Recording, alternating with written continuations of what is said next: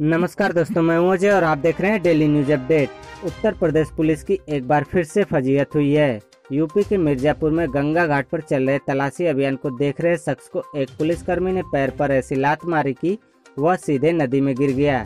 मगर ये पूरी घटना कैमरे में कैद हो गई, जिसका वीडियो वायरल हो गया और एक बार फिर से यूपी पुलिस के आचरण और व्यवहार पर सवाल उठने शुरू हो गए हैं। इस घटना के बाद हुई फजीहत पर पुलिस विभाग ने एक्शन लिया है और इस मामले की जाँच के आदेश दे दिए गए हैं।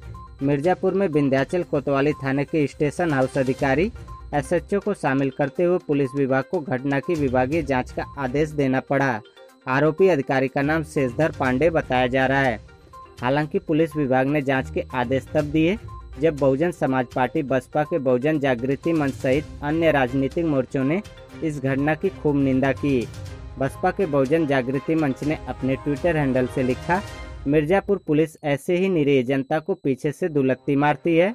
विंध्याचल में गंगा के किनारे खड़े युवक को नवागत कोतवाल ने मारी पीछे से लात। युवक गिरा नीचे गंगा में। इसमें कई अधिकारियों को टैग भी किया गया है। वीडियो में देखा जा सकता है कि कैसे नदी के पास तलाशी अभियान के दौरान पुलिस वालों के साथ साथ अन्य लोग भी खड़े हैं। तभी पीछे से एक पुलिस वाला आता है और वहाँ खड़े एक शख्स को लात मारता है, जिससे वह गिर जाता है। हालाँकि मिर्जापुर पुलिस द्वारा जारी एक बयान में आरोपी पुलिसकर्मी शेषधर पांडे के इस व्यवहार का बचाव किया गया और दावा किया गया कि वह केवल नदी तट पर सोशल डिस्टेंसिंग को लागू करने की कोशिश कर रहे थे, जहाँ एक बॉडी की तलाश के लिए चल रहे तलाशी अभियान को देखने के लिए भीड़ जमा हो गई थी। बयान में यह भी कहा गया कि पांडे सिर्फ़ शख्स को हल्का छूकर सोशल डिस्टेंसिंग मेंटेन करने को कहना चाहते थे, मगर इस दौरान उसका संतुलन बिगड़ गया और वह नदी में गिर गया।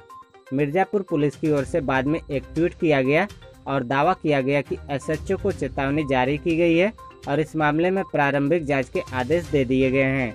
दोस्तों, खबर अच्छी लगी हो तो वीडियो को लाइक करें, शेयर करें, कमेंट करें और चैनल को सब्सक्राइब करें। धन्यवाद।